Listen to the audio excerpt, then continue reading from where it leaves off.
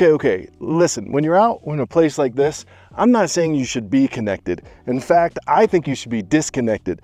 But there are certain reasons and times that you might want to have some sort of link back to society. So now, with the advent of the Starlink Mini, I can actually fit it in my backpack. So right here is the tiny little Starlink satellite that I can now use to work from anywhere pretty much in the world. I simply just need to set it up and here's the kicker.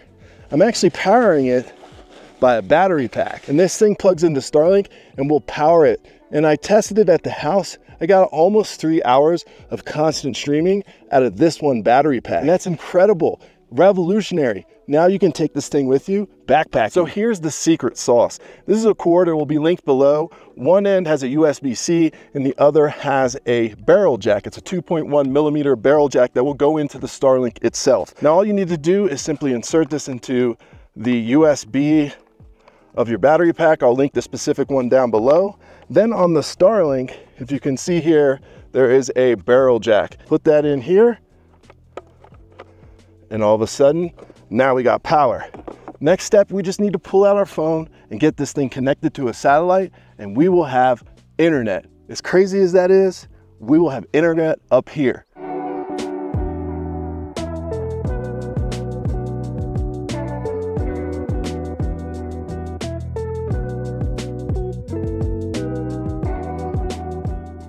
So now that we're back, I'm all showered up and clean. I got to thinking about the hike and it was an eight mile hike with a decent amount of elevation, but I really didn't notice the Starlink in my backpack. And as you saw, it easily fit in there because it's so small and very lightweight. But I don't really think that is going to be my main use case is taking it along with me on hikes. I think more so I'll be using it in my RV. But even with an RV or a van, and if you're in that lifestyle, you know how important it is to have lightweight things and small form factor things just because you don't have a lot of space. But that lifestyle can be rather, well, rough and tumble. So what you need to do is protect the Starlink. And unfortunately, we're not seeing any cases yet come out from Starlink, and there's a few from third parties, but they're not exactly what I'm looking for. I think I found a solution that'll give me all the protection I need, and it's at my favorite store.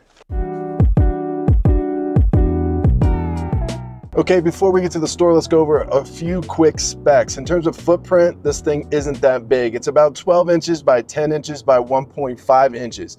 It also doesn't weigh that much. It's about 350, 360 grams, which is about 2.43 pounds for us Americans. Now, in terms of power, it can run off anything from 12 volts to 48 volts. And we'll get more into that after I pick up this case for the Starlink and talk a little bit about how I used the Starlink in conjunction with a couple different batteries and what my results were.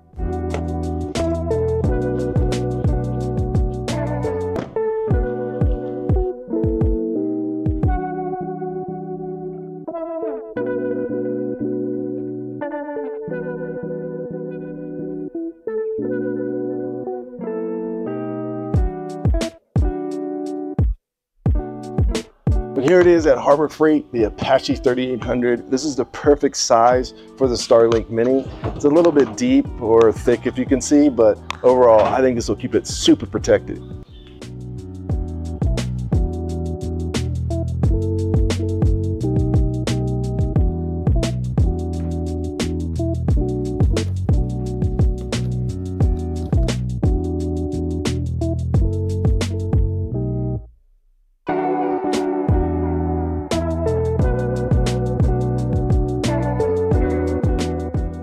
So overall, I think this is a good purchase for $40. It just barely fit, but it will provide a lot of protection. I do wish it was a little bit thinner, but I mean, hey, we'll probably have to wait until someone actually designs something for the Starlink Mini to get a Pelican-like case that just is a little bit shallower, a little bit easier to move around. I think this depth and this protection is a little bit, well, overkill. But in rugged situations, this would be so good. And for $40 as compared to what you're gonna pay for a Pelican, hey, you gotta love Harbor Freight. So from here, let's go into our last two segments. And our last two segments are gonna be about powering the Starlink with battery. And then I'll give you a few of my conclusions after spending about a month with the Starlink Mini.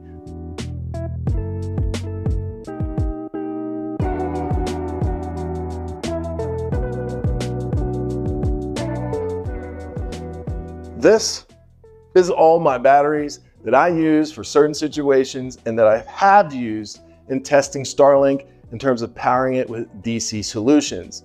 Now, a lot of these probably look familiar to you. These are battery banks. This is just a raw lithium battery, and this is a solar generator or just a larger battery bank. First, you saw this in the beginning. This is my smallest one. It weighs 2.5 pounds. It's also 27,000 milliamps. There's a couple things to point out. First, with all of these, these are 65 watt and above power delivery batteries, meaning they'll push out that as a max. Now, Starlink can run on 60 watts, but I don't like to push it. So I recommend if you're going to get any of these types of batteries, just make sure it's 65 or above in terms of being able to push out that type of wattage. Now this one's also important because it's 27,000 milliamps. And the reason that's important is because if you intend to fly with Starlink or with a battery, the FAA and the TSA say you can't fly with more than a 27,000 milliamp battery and you have to put it in your carry-on luggage. So if you're looking to travel, this is gonna be the only solution. Now all these products and all these cords will be linked down below. They're not affiliate links. I purchased all these with my own money. Now I would use this one probably the most because I'm just gonna be on foot or hiking for the day and I wanna bring along the satellite. Well, yeah, this is the number one solution because it's only 2.5 pounds. If you look at the 2.5 plus what, 1.5-ish, so now we're at, you know, under five pounds to bring, you know, broadband internet with you. I, am my mind's kind of blown by that.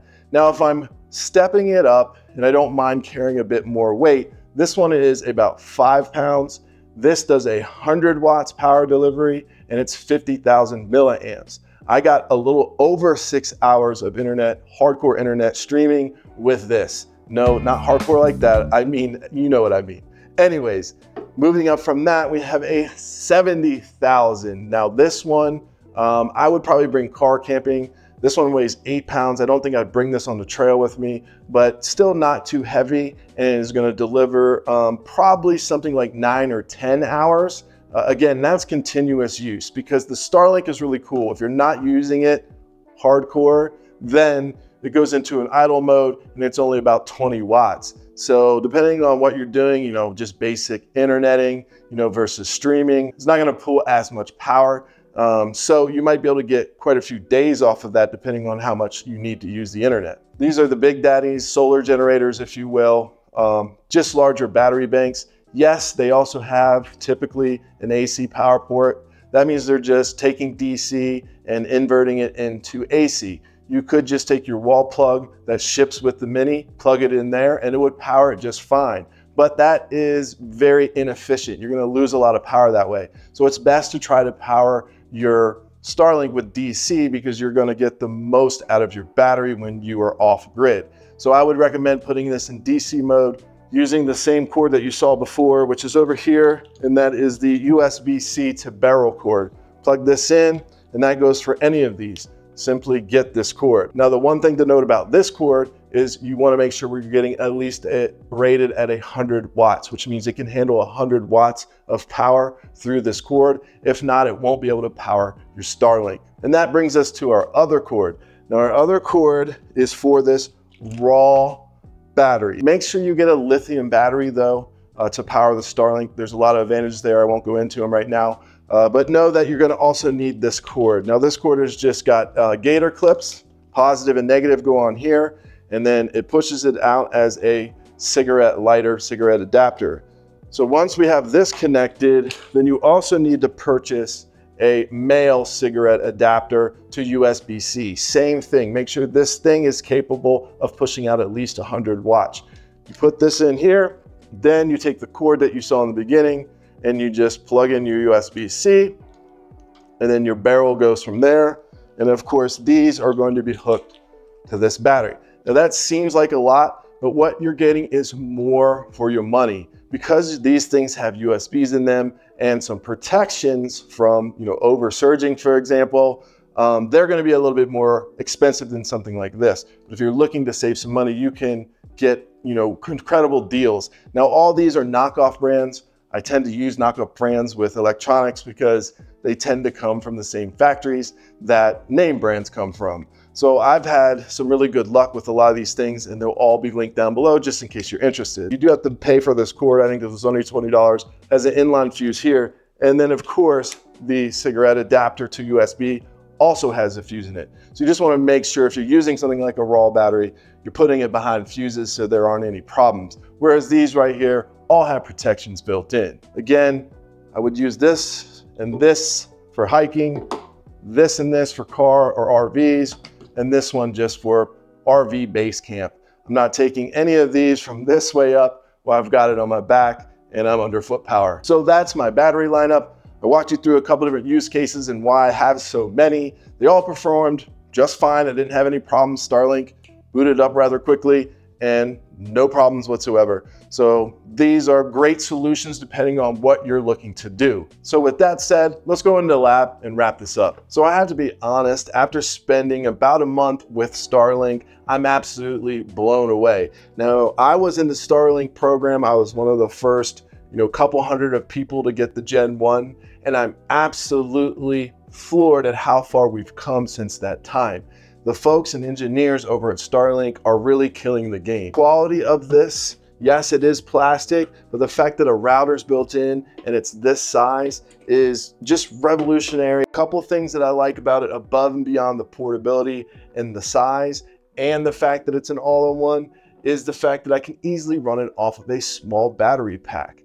I'm also getting really good speeds on this thing. When they tell you you are only gonna get up to 100 megs, Mm, that's not what's happening right now. I'm actually routinely getting 180, you know, 150, but I'm going well above the 100 that they say you can get out of these things. And from what I understand from a recent FCC filing, they're trying to turn up the heat on this a little bit, so we might see some other generations or even this one be able to pull down even faster speeds. Now I have owned Gen 1, Gen 2, I skipped Gen 3, and now the Mini.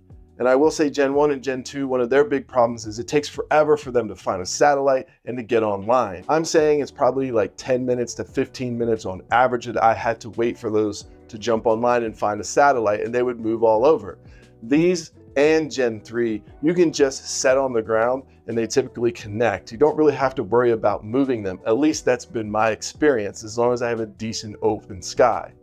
And it boots up really quick. This thing, I'm surprised. I put the battery pack in and well under five minutes, probably more like two to three minutes, I'm already online running a speed test. So the things that I like, portability, all in one, the fact that it boots up, and now the fact that I'm getting really, really fast speeds. In fact, I'm getting faster speeds out of this in my Gen 1 and my Gen 2. Now I understand the Gen 3 and I camp with someone that has a Gen 3. They are on par as well. They're getting really, really good speeds and they also boot up rather quickly. But again, that has a router and it's actually bigger than even Gen 2. So this is a huge advancement and I think a lot of folks are gonna find value in this little guy. Now there are two plans. One plan, you pay 50 bucks a month, you get 50 gigabytes. The plan I'm on is actually a regional plan. I'm paying about $150 for this for unlimited data and I can take it wherever. Now I did not test it in motion. That's just not a use case that I'll do. However, I've seen a lot of people that are using it in motion and it, there doesn't seem to be a problem. This is probably, I'll just go ahead and say it, favorite piece of technology of 2024. The only thing I wish, and I think this is going to be solved, is that we'd see more accessories come out for the Mini. Not just a case, but even cords. I don't want to go on Amazon and buy a cord. I'd rather buy everything directly from Starlink. But I will say everything I have linked has been tested. All the cords have been extensively tested and I haven't had any issues. But I am eager to see because I just, their, their engineers are clever what they come out with for the Starlink Mini in terms of accessories. Overall, a five out of five for this product, and I rarely give out five out of fives. And in danger of sounding like a fool, fanboy, Elon, you really nailed this one, bruh. Anyways, I'm Hill Phantom. I appreciate the watch and I'll see you next time.